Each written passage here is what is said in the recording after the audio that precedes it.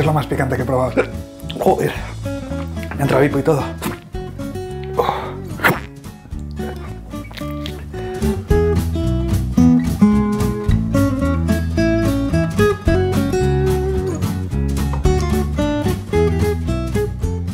Bueno, pues aquí estamos haciendo un pequeño experimento a ver qué tal sale. Eh, vamos a hacer una salsa con los chiles más picantes del mundo.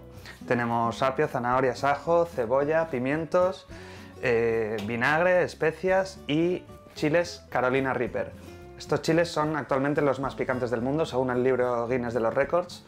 Fueron creados en el 2013 por una empresa estadounidense y son un híbrido entre los chiles Naga Jolokia y los jalapeños es decir, que no se encuentran en estado de naturaleza. Eh, si he entendido bien las cifras, este chile es 100 veces más picante que el jalapeño y 50 veces más picante que la pimienta de cayena, así que va a ser divertido.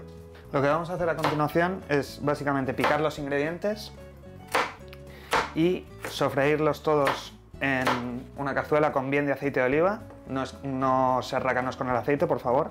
Sé que está caro, pero es importante que se sofría bien y que se reduzca más o menos a la mitad.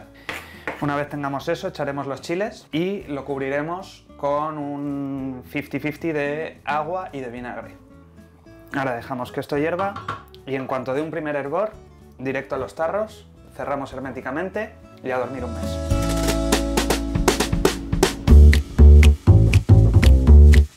Bueno, pues ya ha pasado algo más de un mes y un cambio de escenario. Eh, y nada, tenemos nuestra mezcla, nuestros chiles escabechados, listos para tomarse. Vamos a probarlos primero sin más y luego vamos a hacerlos salsa. La mezcla huele que te mueres, pero muy picante. Estúpidamente picante. Vaso de leche. Vamos a probar. A vuestra salud, lectores.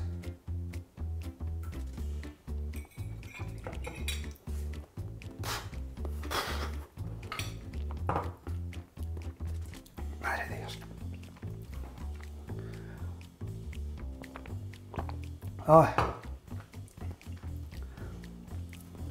Esto es absurdamente picante. Joder.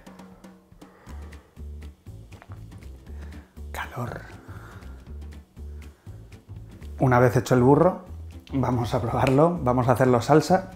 Lo vamos a, probar con un arroz blanco que hemos hecho. Por eso de probarlo en una receta. Uy.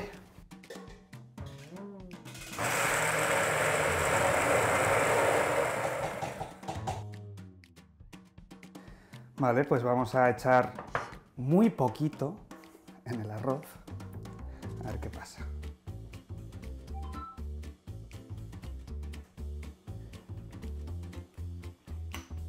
De nuevo, absurdamente picante.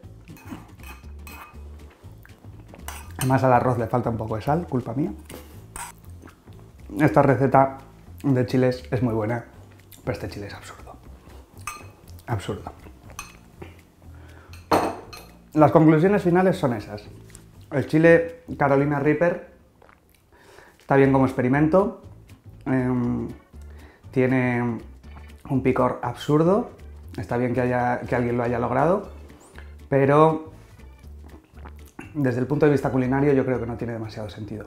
La receta es muy buena, yo la recomiendo a todos los amantes del picante, pero se puede y se debe hacer con chile de árbol, chile habanero, chiles joloquia incluso, que también son muy picantes.